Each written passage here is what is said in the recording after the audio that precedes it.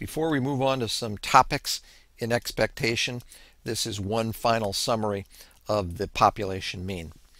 The upside to the population mean, which is the Greek letter mu, also written as the expected value of x, is it is a measure of central tendency that is a best guess at sort of the middle of the distribution or the average value of the random variable x. Here are three downsides to the population mean, which is the expected value of x.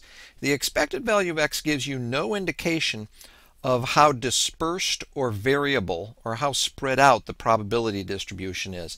It doesn't tell you if the probability distribution is all clustered around the expected value of x or if there's a big spread to the distribution. Now we are going to have another expected value which is known as the variance. It's another expectation that can be calculated that will measure that spread, but the mean alone does not give you that.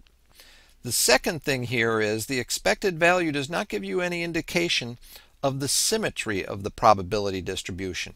It doesn't tell you if it's symmetric or if it's skewed.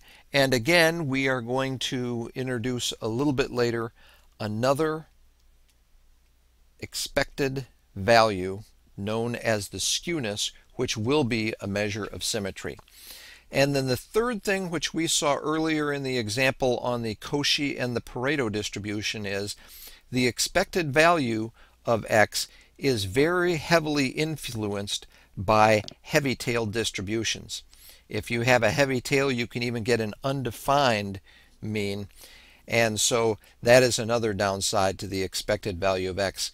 That's why sometimes the population median is used instead of the population mean as a measure of central tendency.